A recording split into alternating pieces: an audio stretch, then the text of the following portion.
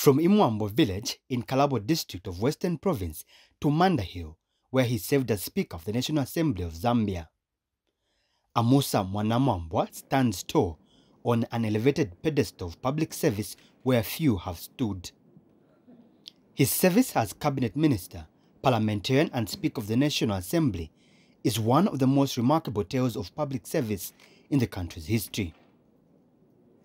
Mr. Mwanamwambwa, who holds the record as one of the longest serving speakers, served the National Assembly in that capacity from 1998 to 2011. My first duty to the House is to convey my respectful acknowledgements and my grateful thanks to all honorable members for the great honor you have conferred on me as Speaker of this honorable House. Clerk of the National Assembly, Roy Ngulube, has catalogued some of the former Speaker's achievements. Most of the establishments that we have, the constituency offices, Parliament Radio, Parliament TV, the Visitors Center, and many other reforms um, uh, can be traced to the reform agenda that he started uh, when he just uh, took over. In 1991, Mr. Mwanamwambwa was elected as the Iowa Member of Parliament. Between 1993 and 1998, the astute public servant served in various ministerial portfolios such as tourism, youth and sports, legal affairs, and information and broadcasting.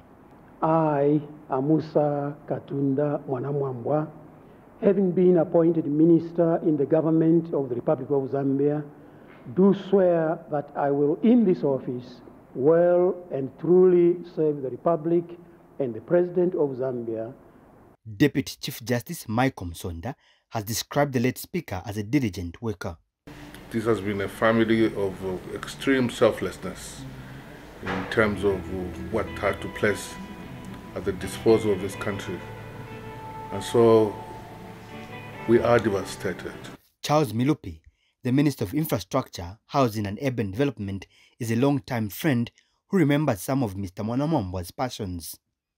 I think he was a straightforward person, but not only was he straightforward, I think the development of the country was uppermost in his mind. In his retirement, Mr. Mwanamwambwa authored a book titled Mr. Speaker, an autobiography of his life and career. Earlier in his career, he worked as an information assistant at the Zambia Information Services before he was later appointed information attaché at the Zambian Permanent Mission to the United Nations in 1970. He was born in 1940 and died on October 21st, 2023. Masauso Mukwayaya, ZNBC News, Lusaka.